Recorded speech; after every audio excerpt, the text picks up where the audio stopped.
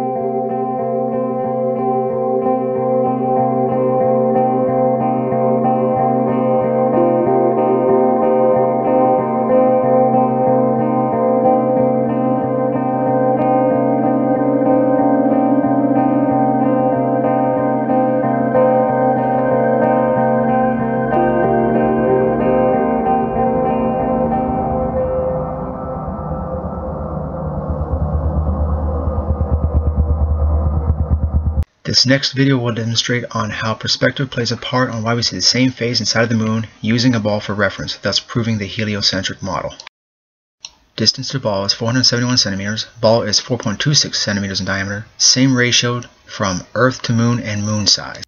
Side to side movement of camera is about 15 centimeters, equivalent of the diameter of the Earth. No change in apparent size, phase, nor side of ball. Conclusion Observers all around the Earth see the same phase and side of the Moon at the same time as due to the Moon being large and far away relative to the observers. 15 centimeter difference from viewpoints between photos. No change in phase nor side due to angle between photos is too small. Same concept with the Moon. Note the angle between observers on Earth is too small. Photo on the right, taken next to the wall for reference. The camera's position moved 15 centimeters to the left on the left photo. 15 centimeters is the same ratio of the Earth's diameter. Distance to ball and the ball size is the same ratio of the distance to the moon and the moon size. Notice the phase inside of ball did not change from the camera's perspective due to the ball being far away relative to the camera and the angle of the camera movement is too small to notice a change in difference. The angle of perspective between the two camera angles and the ball is the same ratio between the two observers on the Earth and the Moon.